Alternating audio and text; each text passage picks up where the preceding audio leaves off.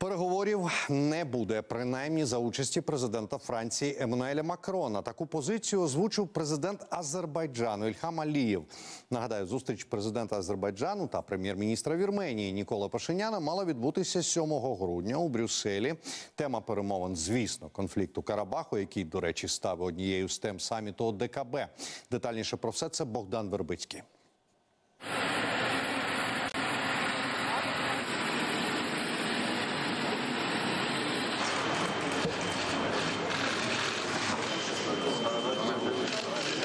Це б могло виглядати солідно, пафосно, геополітично, але це ОДКБ, тому ніяких шансів. І останній саміт цієї організації тому підтвердження.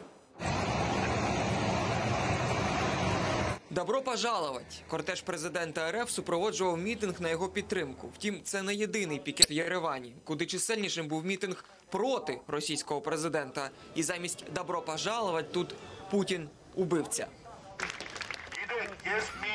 А що Путін в Єревані робить? У столиці Вірменії відбувся черговий саміт ОДКБ організації договору про колективну безпеку. До неї входять Росія, Білорусь, Вірменія, Казахстан, Киргизстан та Таджикистан. Останні, до речі, регулярно між собою воюють. Але тема зустрічі цього тижня конфлікту Карабаху між Азербайджаном та Вірменією. обсуждали вопросы регионального характера, в том числе на вопросы м, урегулирования в регионе, Та результат ніхто з лідерів п'яти країн так і не розповів. А все тому, що результату переговорів з головної теми немає. А Вірменія їх вимагає. Мовляв, союзники по ОДКБ не стали допомагати Вірменії у війні проти Азербайджану. І прем'єр Пашинян своє ставлення до саміту показує дистанцією. Просить навіть президента Киргизстану посунутися, аби подалі від Путіна стояти. Не наше дело кого-то удерживать Но по факту мы должны реагировать. Давайте договоримся, давайте все сделаем, чтобы не, не гибли там люди. Лукашенко цинічно закликає до переговорів Україну. До речі, про паралелі. Чи можна їх проводити між цими війнами між Росією та Україною і Азербайджаном і Вірменією? У Франції, приміром, шестеро сенаторів навіть ініціювали резолюцію з закликом засудити Азербайджан за агресію. Хоча за статутом ООН країна повернула свої окуповані території. Крім того, французькі політики пропонують накласти нафтове та газове ембарго за аналогією Росії, мовляв, обидві країни агресорки. Офіційний Баку назвав це неприпустимим та обурливим. І в результаті Азербайджан відмовився від мирних переговорів із Вірменією за посередництва Еммануеля Макрона, які мали відбутися в Брюсселі 7 грудня. Богдан Вербицький, подробиці телеканал Інтер, марафон. Єдині новини. Ну а зараз поговоримо про тему з нашим гостем. До ефіру долучається Тарас Загородній, керівний партнер національної антикризової групи. Пане Тарасе, вітаю вас. Доброго дня. Добрий день. Отже, останній саміт ОДКБ довів фактично недієздатність цієї структури. Як вважаєте, якою взагалі була мета зустрічі? Ну Путін намагається зберегти вплив в ОДКБ.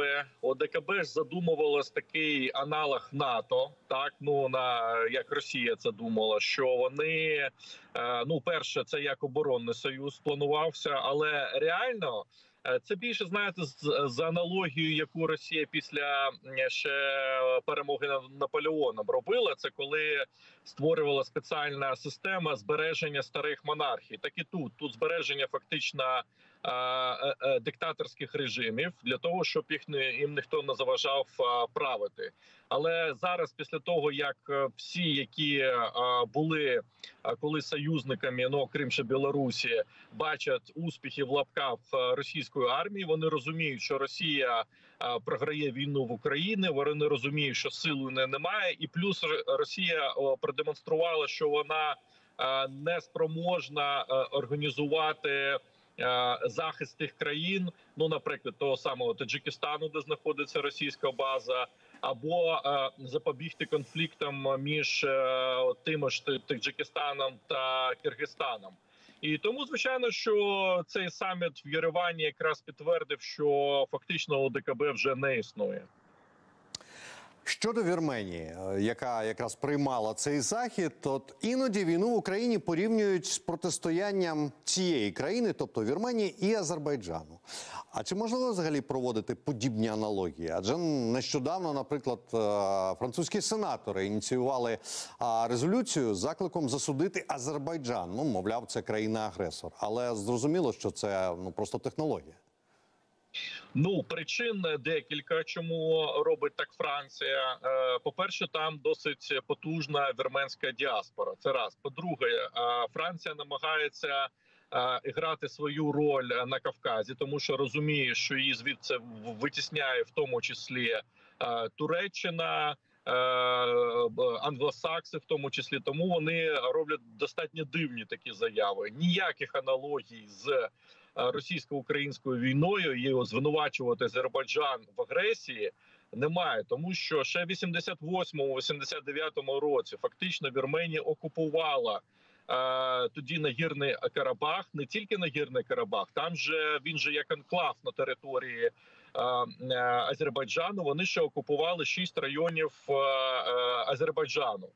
І тому вони тоді ще були агресорами. І зараз Азербайджан повертає те, що е, те, що зараз е, їм належить по праву, так і за статутом ООН, і все, що з цим пов'язане.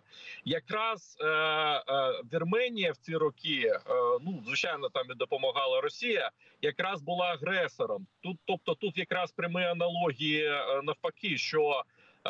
Як Росія грає роль в Україні роль агресора, так і Вірменія відігравала тоді 20 чи 30 років тому роль агресора. Її просто відсунули на їхні території. Азербайджан нападає вже на е, територію Вірменії, яка визнана ООН. І тому, коли французькі сенатори починають е, грати в такі ігри, тим більше накладати ембарго на постачання енергоресурсів, за що? За те, що країна повернула власні території. Ну така достатньо лицемірна позиція французького керівництва, яка не відповідає жодної дійсності. Пане Тарасе, а чи можна припустити, що, наприклад, завдяки якимось там маніпуляціям Кремля, тоді, коли Україна почне визволяти свої території, Крим, Донбас, Росія теж може вдатися до таких маніпуляцій, типу, ну от Україна країна-агресор. Ну, дивіться, вони намагалися це, це робити, і певний час якраз е, Франція до цього дослухалася. Якщо взяти хронологію, як е, європейські лідери реагували на е, агресію на відкриту агресію в Україні. Ви пам'ятаєте, ще у травні пан Макрон взагалі заявляв, що треба зберегти обличчя е, Путіну. Потім з'явився так званий план Драгі. Е, Це прем'єр-міністра Італії. Якщо його уважно почитати, то там фактично прохання капітуляції України. Там ну, дивні такі були формулювання, що зупиняється війна і починаються перемовини про спірні території, тобто законну е, територію е, України вони вже визначали як спірне. Звичайно, що за цим стояли європейські країни, в тому числі Франція і Німеччина. Тільки вони тут не світилися особливо, і е, вони намагаються це зробити. Росіяни будуть намагатися це, це робити, але вже час пішов. Час пішов, е, тому що після Бучі, е, після того, що вони порушили всі звичаї війни, які тільки можливо. е, Вони будуть про це говорити, але е, не вийде, не вийде, тому що це є територією України. Це вже точно відомо і точно зафіксовано. І ну це є статут ООН. Якщо Франція хоче посилатися на статут ООН, то в даному випадку так воно і є. Але вони будуть намагатися. Я я поки що не я завжди очікую якісь підлості саме від європейських країн. Наприклад, в якому форматі вони можуть зробити? Вони можуть, якщо Росі- Росія ж зараз домагається перемір'я в Україні, з якою метою вони хочуть якраз припинити допомогу військову допомогу Україні. Яким чином? Тільки тільки вони будуть говорити, що почалися якісь перемовини. Європейські країни першими побіжуть, в тому числі Вашингтон, і будуть кричати, що давайте припиняти допомогу Україні для того, щоб як вони скажуть, дати шанс миру. Е, Тим більше що вже е, прецеденти є в 2014 році, якраз за, за на, наполяганням е, європейських країн було запровадження ембарго на постачання в Україну зброї і товарів подвійного призначення, яке підтримував в тому числі пан Обама, і це ембарго трималося фактично два роки. І от ми бачимо, що попри потужну підтримку Європи зараз, а ми бачили, що і змінилися позиції Франції, особливо Німеччини, і тим не менше, проросійський вплив на західний політикум є. І от е, як ви гадаєте, як ви бачите, де російське лобі найактивніше? Ну, Німеччина, звичайно, Німеччина, Австрія, ну і Франція. Ну, звичайно, от ну в три найбільше, якщо е, по- поставити ранжування, це Німеччина. З Німеччиною вони працювали останні 60 років. Австрія, е, тому що вона взагалі була окупована радянським союзом до 54-го ро- до 54-го року. Тобто можна вважати, що там вже віднов відновлюється це проросійське лобі, яке що тоді було посаджено. Ну, звичайно, є е, Франція не настільки, тому що вона енергетично більш е, незалежна, але у Франції є такі ще сантименти, там пов'язані з російською культурою, пов'язані. Знаєте, як я нещодавно одного аналітика е, бачив, він який там живе в Франції. Він розповідає так: у них досі живуть сантименти ще часів наполеоновських війн. А коли як вони говорили, приїжджали російські офіцери, вони всі французькою мовою розмовляли. А ось і так ну звичайно, вони не витворяли те, що вони е, могли робити там, як в Польщі, е, ту саму Бучу. Вони не робили такого, і тому що е, Франція вважалася якимось союзником близьким. Росія активно фінансувала, в тому числі. Е, Підтримку культурну на, на початку 20-го сторіччя у Франції. Не будемо забувати великі хвилі після революції 17-го року аристократія, яка переїжджала у Францію. Тому у них більш такі сентиментальні в дійсності ставлення е, до е, Булки, як вони співали там свої якісь пісні. Так, плюс інтереси, інтереси, звичайно, вони нікуди не поділися. А, дивіться, якщо говорити, продовжувати тему про оце російське лобі в Європі, так е, що з Угорщиною? Це одна із ну найяскравіших, напевно, таких е, країн. Вона ж тим не менше позавчора е, е, з'явилася інформація, що виділить такі 187 мільйонів євро Україні. Що це? Зміна позиції, чи це якась позиційна, ну просто маневр якийсь? Ніяких змін позицій немає. Просто Орбан не хоче потрапляти все ж таки під санкції. Він хоче пройти повз е, червоні лінії, тому що вони залежать від Європейського союзу і по грошах. В першу чергу, ну Угорщина, наприклад, голосувала за, е, е, за виділення репарації Росії в ООН, наприклад, як до речі, і Туреччина.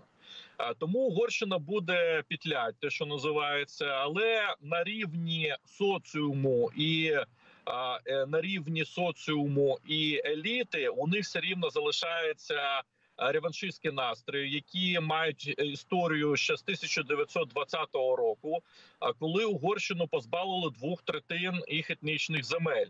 Е, Це йдеться в першу чергу сучасні Румунію. е, Україну, Словаччину, Сербію, Хорватію. Тому там у них суперечності з багатьма в дійсності країнами, і вони дійсності підігрують Росії, тому що там ще є а, корупційна складова, це нафта, газ за знижками.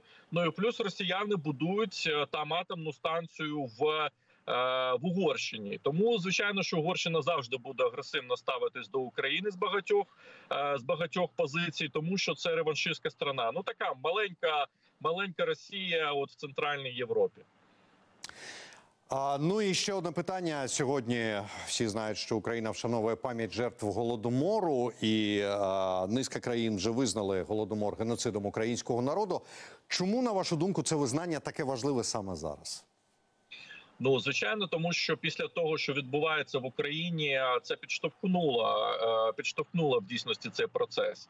Е, Всі розуміють, що це те, що говорила Україна останні там 20 років. Це правда. Всі бачать те, що відбувається. Е, Далі російське лобі вже не може стримувати ці процеси, Е, тому що е, раніше ж боялися дихнути у бік Росії, тому що і велика корупція політична, особливо в Німеччині, яка не дозволяла просувати інтереси України в першу чергу. А тепер ну навіть е, е, е, лобі навіть нічого сказати вже не може, тому що наскільки, наскільки токсична зараз ця тема. Для того щоб е, е, обстоювати інтереси Росії, але це російське лобі. Давайте будемо відверти. Воно ніколи нікуди не поділося. Як тільки е, щось буде якісь можливість для того, щоб повернутися до статусу до 24 числа, повернуться, будуть купувати, будуть продавати Україну оптом і в розні і в роздріб. Давайте будемо без будь-яких ілюзій. Пане Тарасе, я вам дуже дякую за розмову. Це Тарас Загородній, керівний партнер національної антикризової групи. Був у нас на зв'язку. Гарного вам дня. На все добре. Дякую.